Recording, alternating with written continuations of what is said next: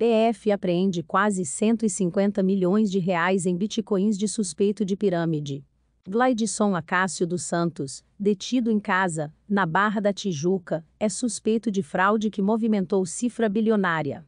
Assisto agora, em Últimas Notícias.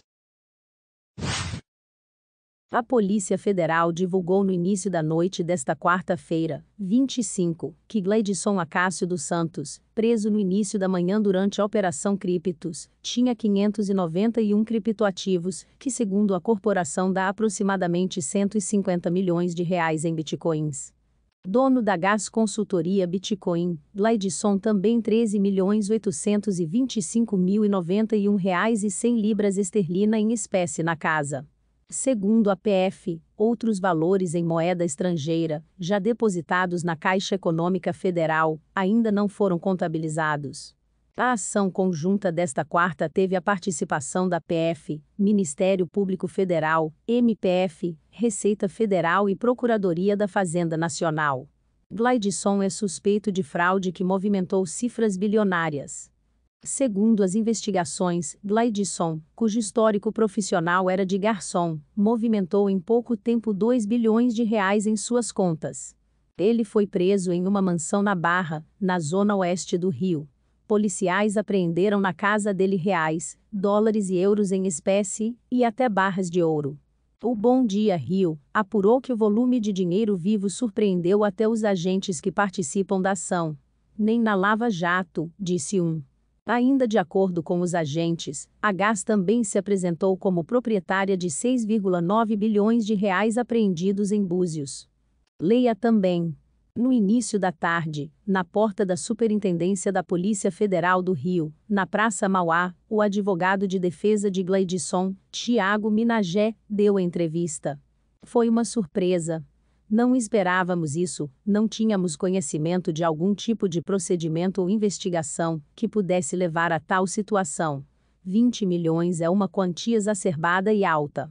Mas não é uma quantia que você possa afirmar que é oriunda de prática criminosa, afirmou. Ganhar dinheiro, ter 20 milhões de reais em casa, isso por si só não é um crime. A partir de agora, a gente vai ver qual vai ser o caminho a seguir e traçar, acrescentou o advogado. As equipes saíram para cumprir nove mandados de prisão e 15 de busca e apreensão no Rio de Janeiro, São Paulo, Ceará e Distrito Federal. Até a última atualização desta reportagem, além de Glaidson, um homem havia sido preso no aeroporto de Guarulhos, São Paulo, tentando fugir para Punta Cana, na República Dominicana. Outros três, segundo a PF, também foram detidos. Balanço de apreensões e prisões. O Fantástico desta semana mostrou que a Gás era investigada há dois anos pelo esquema, mas se disfarçava de consultoria em bitcoins, uma moeda digital, relembre abaixo.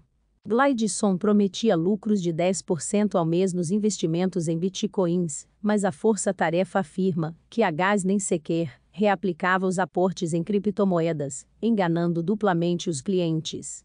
A empresa de Gleidson tinha muitos investidores em Cabo Frio, na região dos Lagos Fluminense, que se tornou um paraíso dos golpes do tipo pirâmide financeira e ganhou até o apelido de Novo Egito, como o Fantástico mostrou há duas semanas. Nos últimos seis anos, a movimentação financeira das empresas envolvidas nas fraudes apresentou cifras bilionárias, sendo certo que aproximadamente 50% dessa movimentação ocorreu nos últimos 12 meses, informou a PF. A Gás não tinha Citi, nem perfis em redes sociais, e o telefone disponível na Receita Federal não funcionava. Os mandados foram expedidos pela Terceira Vara Federal Criminal do Rio.